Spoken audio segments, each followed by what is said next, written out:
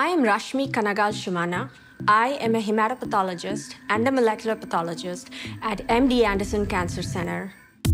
Structural variants are a key genomic abnormality in cancers. I do feel that they are under-evaluated and hence the prevalence is underestimated. Structural variants are extremely challenging to detect using the current technologies conventional cytogenetics, we know that is extremely low resolution. FISH technologies, it's using a targeted probe. It's not a whole genome approach.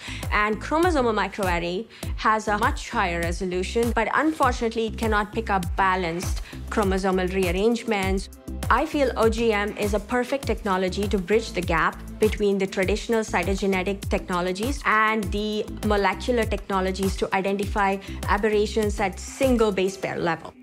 The fact that the optical genome mapping uses ultra-long DNA molecules, allowing the information on structure variations to be retained on these molecules makes it a perfect technology to interrogate structure variants.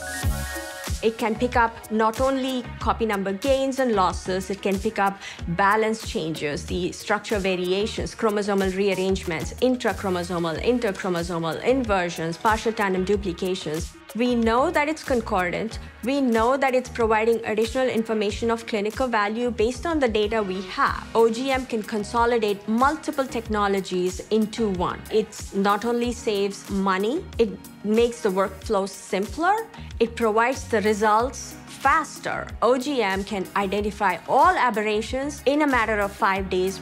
Optical genome mapping has opened up a whole new door for me.